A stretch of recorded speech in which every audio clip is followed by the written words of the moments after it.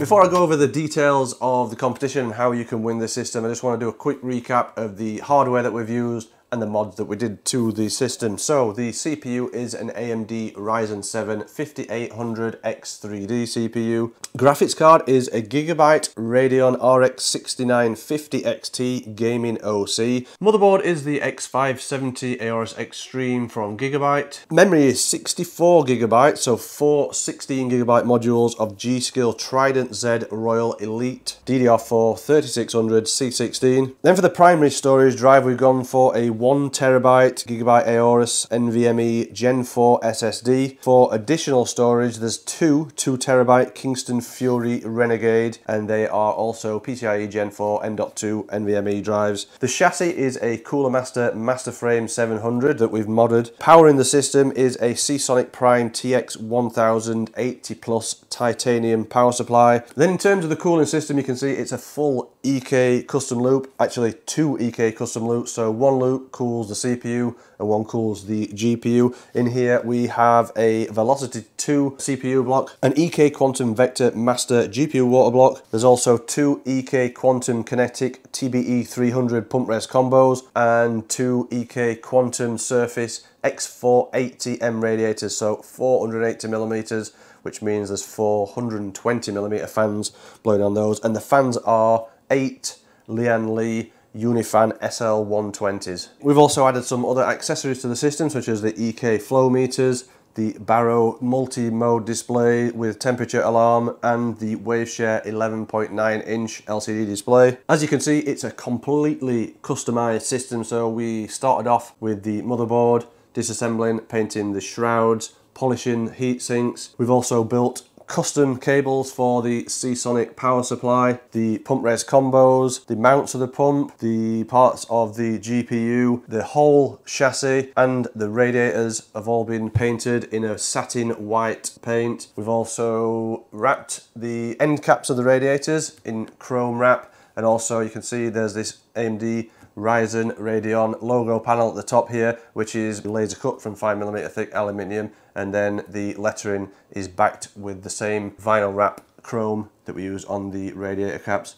And obviously as well, the LCD screen, that's a mod, so that is the Waveshare 11.9 inch LCD screen, and then I made a custom enclosure, 3D printed and laser cut, and it's all mounted to the chassis where the pump res combo should be mounted. So the system looks absolutely superb in this white and chrome theme and it also performs excellent in gaming because this is the fastest current AMD gaming system with the 5800 X3D CPU and the 6950 XT. And that means it scores over 9,000 points in the 3D Mark Time Spy Extreme benchmark. It gave over 80 FPS average in Godfall 4K benchmark. The CPU under load maxes out at 75 degrees C and the GPU runs at a super cool 45 degrees C under full load. So there is plenty of headroom in the cooling system in case you wanted to overclock this system further. So onto the competition and it's really easy to be in with a chance of winning this system. All you need to do is head over to the competition page on the Kit Guru Facebook,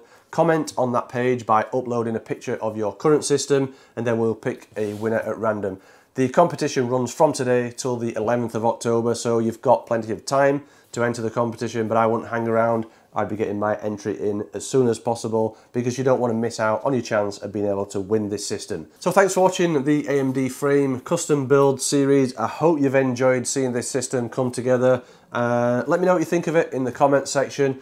If you have enjoyed watching this series, don't forget, give this video a thumbs up, subscribe to our channel, and if you enjoy the content from Kit Guru, you can help support us by picking up some merch from our store. You can even subscribe to our Patreon. And don't forget, as always, if you want to catch up on all the in-depth technical reviews, head over to our website.